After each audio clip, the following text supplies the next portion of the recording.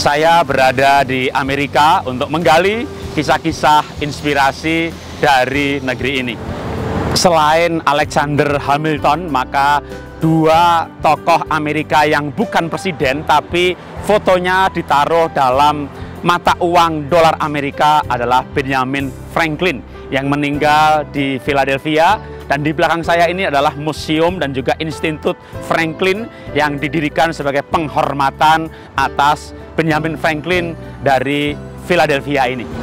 Benjamin Franklin adalah seorang multitalent. Dia seorang pengarang buku, penerbit, seorang pejabat, sebagai seorang anggota legislator. Ia terpilih dua kali di wilayah Pennsylvania. Sebagai duta besar, dia berhasil menjadi duta besar Prancis saat hubungan Amerika-Prancis sedang terpuruk. Dan dia dianggap berhasil membangun hubungan yang baik. Benjamin Franklin juga merupakan tokoh revolusi Amerika yang ikut menandatangani deklarasi kemerdekaan Amerika. Sebagai ilmuwan atau penemu, dia menemukan mengenai cahaya, listrik, atau juga dikenal dengan tungku Franklin, lensa dengan fokus ganda, dan juga pistol cahaya. Sebagai seorang pejabat, Franklin berhasil menjadi yang pertama menjadi kepala kantor uh, pos, lalu juga dia yang pertama membangun perpustakaan umum, serta yang pertama juga mengorganisir barisan pemadam kebakaran kota di kota Philadelphia, di mana pada waktu itu sebelum pindah ke Washington DC, maka ibu kota negara Amerika adalah Philadelphia ini. Prestasi ini semakin mengagumkan mengingat Franklin adalah lahir di keluarga miskin, anak bungsu dari 17 bersaudara, di mana dia umur 10 tahun harus berhenti sekolah, dan umur 12 tahun dia harus sudah mulai bekerja.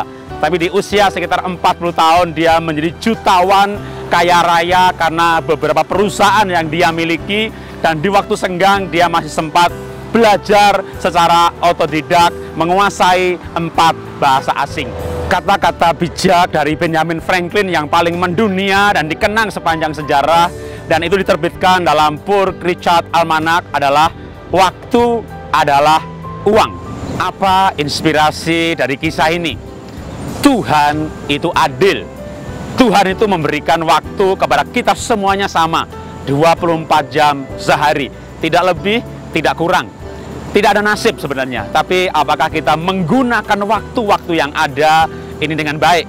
Kalau Anda bisa mendisiplin diri, misalnya tidur 6 jam, lalu makan tiga kali, istirahat beberapa menit, selebihnya Anda gunakan untuk bekerja, berkarya, bekerja, berkarya, kegiatan sosial, berbuat baik secara konsisten seperti yang dilakukan oleh Benjamin Franklin sehingga dia begitu menghargai uang maka dia katakan waktu adalah uang Bukan karena dia cinta uang, tapi karena dia sungguh-sungguh menghargai waktu. Keberhasilan, kekayaan, ketenaran, kesuksesan hanyalah tabungan dari apa yang kita lakukan terhadap waktu-waktu ini. Bagaimana kita menggunakan menit demi menit, detik demi detik. Kalau Anda punya waktu luang, lalu Anda gunakan Facebookan seharian yang tidak jelas gitu ya.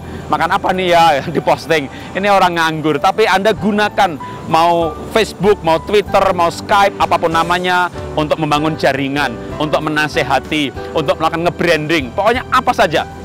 Yang Anda lakukan adalah produktif, maka Anda menghargai waktu yang Tuhan berikan. Kalau Anda hidup sebagai orang yang menghargai waktu, maka sebenarnya Anda sudah memiliki gen sukses. Maka keberhasilan bukan barang langka, malah aneh kalau Anda tidak berhasil.